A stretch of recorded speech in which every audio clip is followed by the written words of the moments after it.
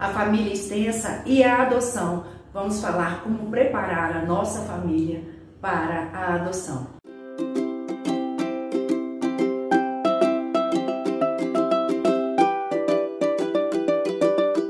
Meu nome é Sandra Santos, Gerando Coração, seja bem-vindo ao meu canal. Primeiro, o que é família extensa? Família extensa são aquelas que fazem parte da nossa família, mas não vivem na mesma casa, ou seja, os avós, os avós, tios, primos e por aí vai. Então, o que você espera de sua família? O que você precisa da sua família? E o que você gostaria de, de receber da sua família sobre a adoção, sobre a sua a forma que você vai falar com ele que você pretende adotar ou já está na fila da adoção. O que nós esperamos, primeiramente, quando vamos lá contar a nossa família que nós estamos na fila da adoção e que nós queremos adotar, é o respeito que cada uma delas tenha conosco. Vai estar lá naquela expectativa contando para eles né, o nosso projeto aí sobre a adoção ou estarmos habilitados para adoção ou entramos na fila da adoção. A gente espera que eles venham todos empolgados para o nosso lado, abraçando, mas nem sempre é assim. Muita calma nesta hora. O ideal é que a gente se prepare para poder estar aí comunicando essa família extensa sobre o nosso projeto adotivo.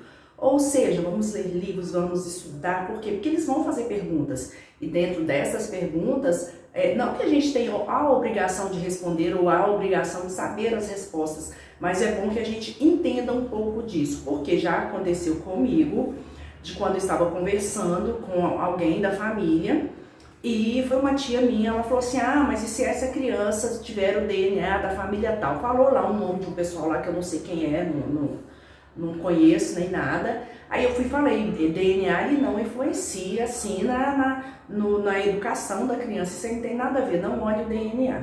E no mesmo momento eu tive uma prima que chegou perto de mim, da minha tia, e falou assim: não, mas o importante é que ela vai ter um filho, então assim, nós temos que estar preparados para algum tipo de, de perguntas, algum, algumas indiretas que as pessoas irão dar, principalmente a do DNA.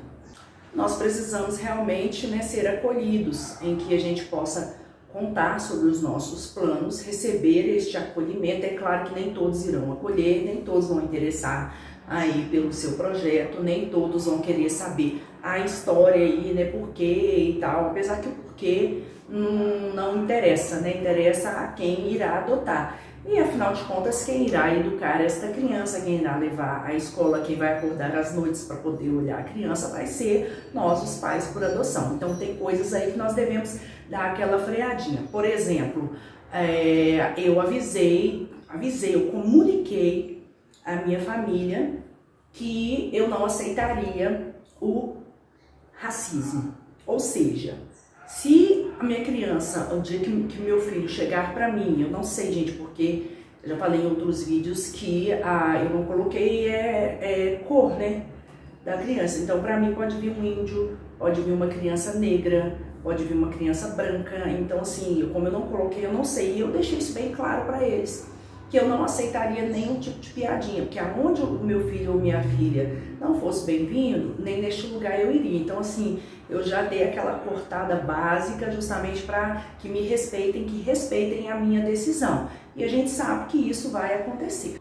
E o que nós mais precisamos também é do apoio, porque essa rede de apoio é na hora do telefone tocou. O telefone tocou, em alguns casos, né, a gente vai lá para conhecer a criança no abrigo, e se for um bebê, por exemplo, de dias, é aquela coisa, é tudo na correria, vai ser tudo muito rápido, então a gente precisa dessa rede de apoio aí, a família extensa, porque eu, eu até considero família extensa os amigos, né? Porque os amigos também eles te ajudam. Eu li um livro que a, a, a mãe estava contando a história dela da adoção, e quando o filho dela chegou, não vou me lembrar, mas foram meses né, de nascido, e que a empresa onde que ela é, trabalhava, porque ela pediu demissão, fez um chá de, de fralda lá, em vez de fazer um, uma despedida, né? Fizeram um chá de fralda, o pessoal levou fralda, levou roupinha, levou um monte de coisa, ela ganhou berço. Então, assim, é isso que eu chamo de, da rede de apoio, né? Não só a família extensa, mas também os amigos. Então a gente tem que ter aí uma rede de apoio, vamos nos apegar àquelas pessoas que realmente estão conosco, aquelas pessoas que realmente nos apoiam,